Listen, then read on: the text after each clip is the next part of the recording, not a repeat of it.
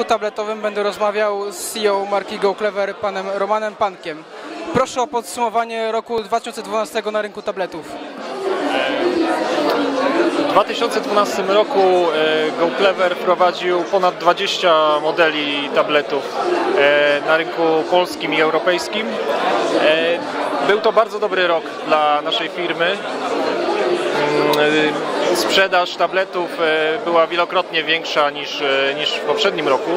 E, W tej chwili podsumowujemy dokładnie liczby, ale mogę powiedzieć, że jesteśmy jednym z liderów rynku tabletów w Polsce w tej chwili. No i chcemy w przyszłym roku kontynuować rozwój tej kategorii produktowej.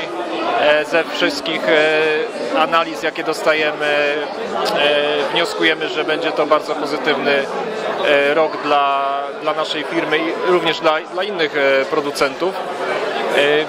Chcemy skoncentrować się na poprawie jakości i dostarczać do klientów najnowsze technologie w jeszcze krótszym czasie.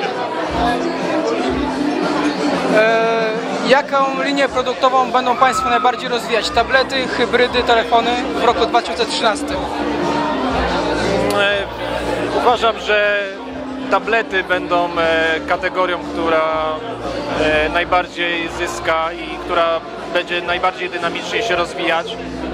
W kategorii tabletów oczywiście można wyróżnić pewne, pewne podgrupy, tak jak na przykład hybrydy.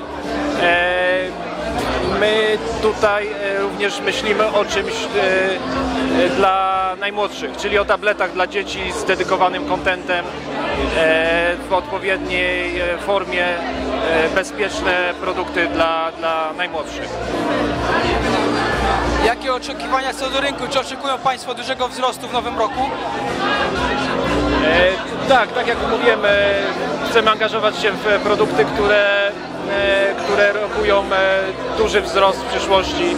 E, Stąd, e, stąd tak duże, duża koncentracja na, na tablety i na nowe technologie.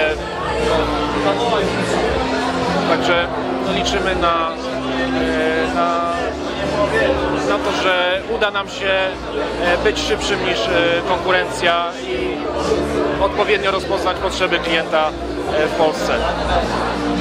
Dobrze, w takim razie dziękuję bardzo za wywiad z panem Romanem Pankiem z CEO GoClevera.